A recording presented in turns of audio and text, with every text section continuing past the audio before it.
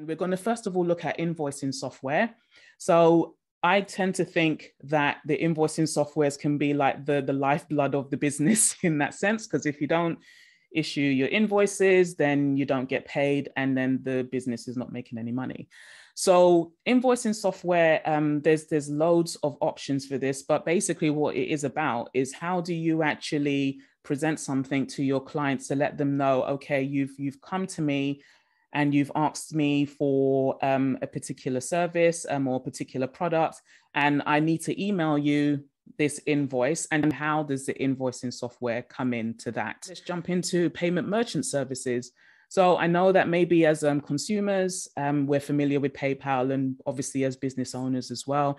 So if you are um, running your business online, um, particularly if you have a website where people want to buy products from, then using payment merchant services is going to be a must. So now we're going to get onto CRMs. So to kind of give a bit of context as to why CRMs, particularly more so now, would be important for your business, is that again, if you um, if you have all of your clients in a um, in a spreadsheet in an Excel spreadsheet, and then you need somewhere to store all that stuff more efficiently. And um, the Excel spreadsheet, to me, um, is probably just not the most efficient way to do things um, because there's, there's only so much you're meant to do in an Excel spreadsheet.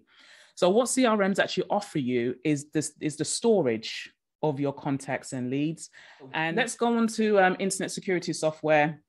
Um, and as I've mentioned as well, um, the internet security just goes a lot further to make you aware of the transmission of harmful software. Um, in my case, um, the internet security software that I have, it also makes me aware of websites that are dodgy. So, so let's go on to um, our project management software. And um, so as I mentioned, um, we all as business owners are um, going to be involved in projects, whether long, long-term ones or short-term ones.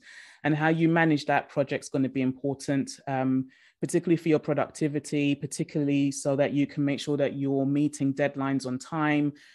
So project management software um, helps with, with all of those things. And accounting, a very important thing for us as business owners. And so, um, depending on how you do your accounts or manage your accounts, if you do have um, an accountant that you're working with or a tax professional, using an accounting software um, actually might ex- expedite that process for you. So,